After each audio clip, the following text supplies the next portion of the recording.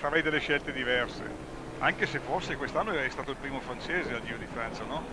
Sì, assolutamente. Eh. Intanto arriva Gutierrez all'intermedio, al primo intermedio, anche gli atleti del terzo blocco stanno arrivando al primo intermedio e possiamo così vedere il passaggio di Gutierrez è secondo a 12 secondi da Bradley Wiggins. Eh beh, Wiggins eh, però come sempre quando i corridori eh, corrono in casa sono forti, poi questo è un cronoman eh, per cui è abbastanza normale che faccia bene. José Ivan Gutierrez Palacios sta disputando una splendida cronometro individuale, per il momento è davanti a tutti a metà percorso. Allora, al primo intermedio aveva un distacco tutto sommato abbastanza eh, sensibile. Eh, ha vinto gare, ha vinto la Sanremo senza correre prima una volta, per esempio, anche del cronometro ha provato e vedi Gutierrez. 38 secondi per Gutierrez al terzo rilevamento cronometrico intermedio per cui eh, quello che abbiamo visto ci sono state anche parecchie cadute per essere l'ultima tappa della Vuelta quindi dove già le posizioni sono ben determinate io credo che bisognerà correre con attenzione e non lasciare spazio a fughe di molti minuti. Sta arrivando Gutierrez. Gutierrez un tempo fantastico. 53 58 e 26 milioni. L'argentino signori è andato forte.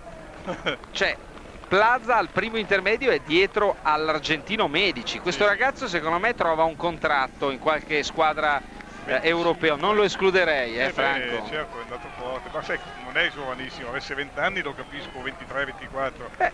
Mi sembra che ne ha 30 nulla di eccezionale.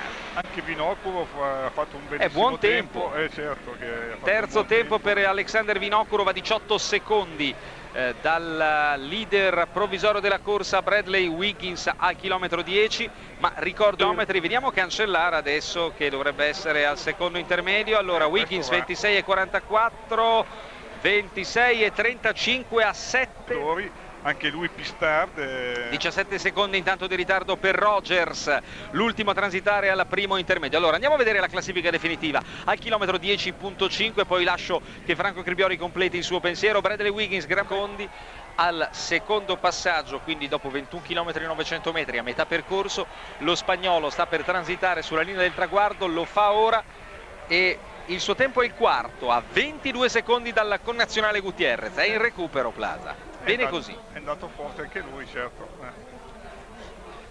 Eh, perché adesso sono... il tempo è effettivo perché Gutierrez a quel punto ha quattro gocce d'acqua, qua per fortuna è asciutto, ma non c'è problema. Sì, diciamo nelle discese tecniche soprattutto diventa pericoloso perché una bici troppo rigida chiaramente ha minore tenuta di strada. E vediamo il tempo di Alexander Vinokurov eh, dovrebbe essere vicino a Kashechkin eh, sono vicini due sì Vinokurov leggermente meglio. È quinto per poco 29 secondi di ritardo da Van Gutierrez Palacios. Cancellara anche lui è lì vicino a metà percorso a 7 secondi di ritardo da Gutierrez. Dovrebbero essere questi tre atleti a giocarsi il titolo mondiale a cronometro. Vediamo Michael Rogers impegnatissimo, ancora, mi sembra ancora brillante, ancora agile la sua azione, la sua pedalata. Sì, sì, sta pedalando molto bene, però non, non ha recuperato, sì, forse qualcosina. Aveva 5 secondi di ritardo, eh, vediamo, siamo lì. È ancora uguale più o meno. Sui tempi di Cancellara eh, ha perso qualcosina. Eh.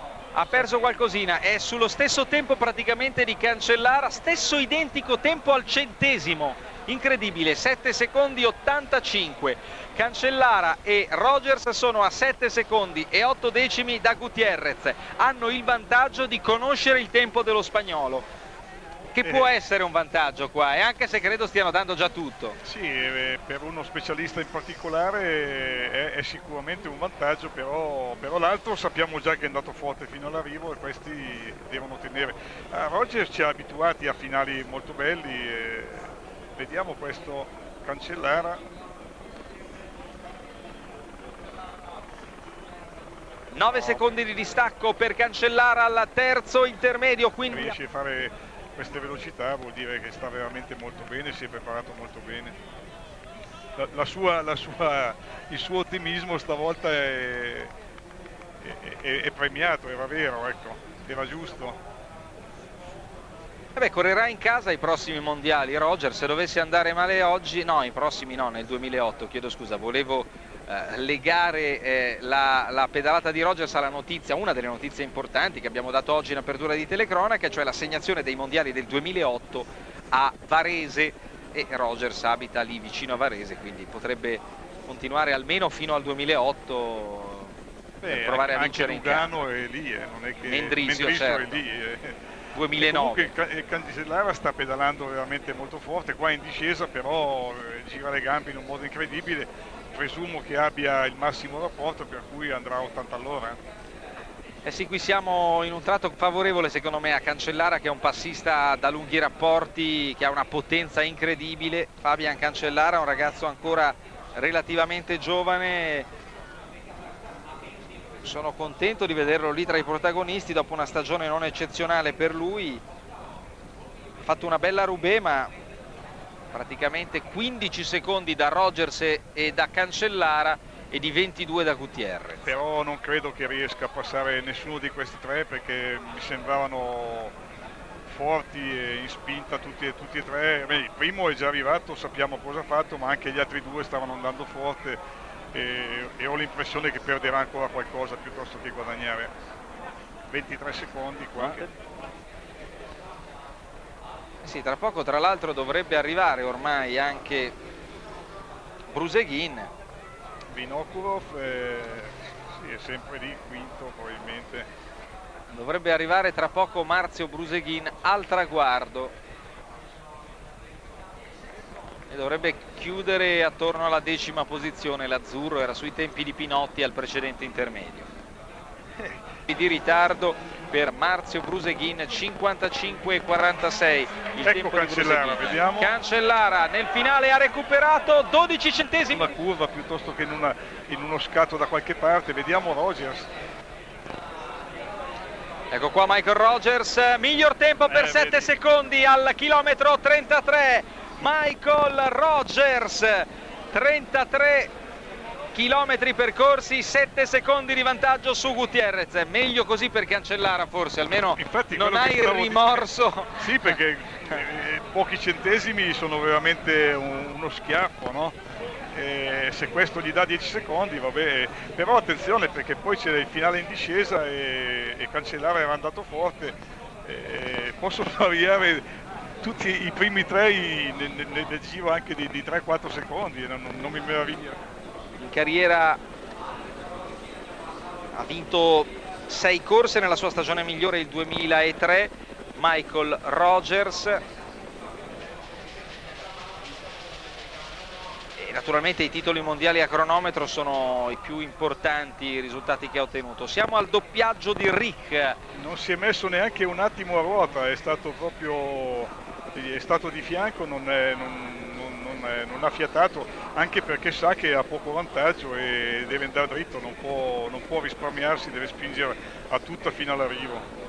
Riesce a saltare, vedete, Denis Menchov nel finale di questa tappa. Andiamo a vedere l'arrivo di Ruben Plaza Molina, dovrebbe essere in corsa per un terzo posto provvisorio. Ruben Plaza salta Menchov proprio sul rettilineo d'arrivo, in pratica ultima curva ampia verso sinistra, la volata di Ruben Plaza, 55.03 per Kashechkin, è terzo Plaza, 54.18, 20 secondi di ritardo da Gutierrez, è andato forte la sua fatica, una bella stagione per lui comunque, la Liegi-Baston-Liegi, quinto posto al tour con due vittorie di tappa, sono risultati importanti per Alexander Vinokurov, eccolo qua al traguardo, lui che era stato terzo ai mondiali a cronometro di un anno fa va a chiudere con il quarto tempo provvisorio a quasi un minuto 56 secondi e 4 decimi.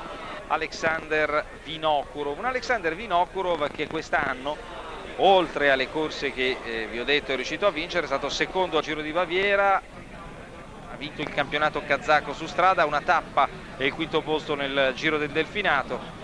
Della Svizzera nessun successo personale finora ma è davvero vicino forse alla terza affermazione consecutiva in un campionato del mondo a cronometro individuale. Questo atleta australiano di 25 anni, 26 nel prossimo dicembre, sta per essere il primo, probabilmente, forse, Eh, attendiamo, sì atleta del mondo a vincere per tre volte il titolo mondiale a cronometro, per di più consecutivamente. Ecco che ha accelerato ancora, ancora la brillantezza di cambiare passo, di accelerare, di aumentare la cadenza delle pedalate nel finale di corsa. Michael Rogers, lanciatissimo, uno dei tanti atleti che escono dal vivaio Mapei, Franco Mapei che aveva davvero tanti giovani di grandi speranze, molti di questi sono i corridori di oggi, tra questi anche Rogers e, e molti altri e poteva Ce la forse fa, continuare l'attività. Sì, Michael Rogers medaglia d'oro, la Spagna eh, battuta in casa da questo atleta australiano che taglia il traguardo e vince il terzo titolo mondiale, un finale in crescendo, 24 secondi quasi di vantaggio su José Ivan Gutiérrez Palacios, una media di 50 all'ora, straordinario Michael Rogers. E ha fatto il finale come l'ha fatto l'anno scorso, ha dato gas e si vedeva che faceva gli strappetti a tutta e poi scattava di nuovo, per cui... Perché se avesse perso sarebbe stato peggio. Eh beh,